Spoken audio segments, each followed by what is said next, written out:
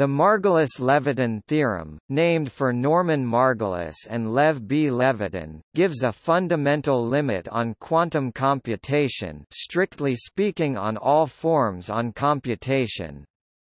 The processing rate cannot be higher than 6 times 1033 operations per second per joule of energy. Or stating the bound for 1 bit, a quantum system of energy E needs at least a time of h 4 E display style frac h 4 E to go from one state to an orthogonal state, where h is Planck's constant 6.626 times 10^-34 Js and E is average energy.